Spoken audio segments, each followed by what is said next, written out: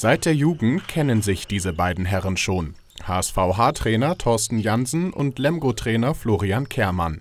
Eine Freundschaft, die schon über Jahre besteht. Am kommenden Sonnabend treffen die beiden nun mit ihren Teams aufeinander. 60 Minuten rückt die Freundschaft dann in den Hintergrund. Wir haben in der Nationalmannschaft zusammengespielt, ähm, sind quasi eine Generation und äh, ja, schätzen uns sehr. In erster Linie guckt man auf seine eigene Mannschaft, äh, was man da, äh, ja, was man ihnen damit an die Hand geben kann und guckt weniger darauf, was der gegnerische Trainer macht. Äh, von daher, also was er natürlich taktisch macht schon, aber ansonsten äh, suche ich da jetzt nicht ständig den Kontakt und äh, werde von, von weitem irgendwelche Handzeichen geben. Für die Hamburger ist Lemgo nicht nur der Pokalsieger und European League Teilnehmer, sondern auch ein Gegner, der seine Stärken kennt.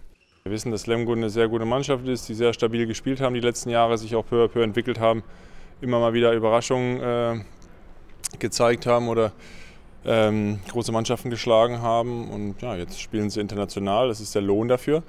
Und ich glaube, dass wir ähm, schon vom, vom, vom Spielstil von vielen Sachen vergleichbar spielen wie Lemgo. Die Hanseaten treffen nach langer Zeit mal wieder auf einen Gegner, der tabellarisch über ihnen steht.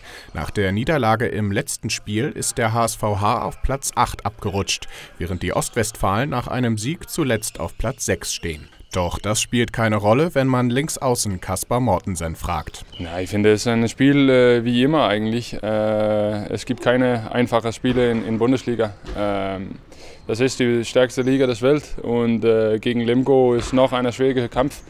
Aber wir freuen uns äh, riesen für äh, unser fantastische Heimwärtsspiele äh, wieder mit unseren Zuschauern dabei, mit guter Stimmung in die Halle zu erleben. So, das heißt, wir, wir geben voll Gas und dann hoffentlich reicht das für zwei Punkte. Freuen dürfen sich die Fans also auf eine packende Partie auf und neben der Platte. Und ganz unabhängig vom Spielstand werden Jansen und Kermann sicherlich nach 60 Minuten weiterhin Freunde bleiben.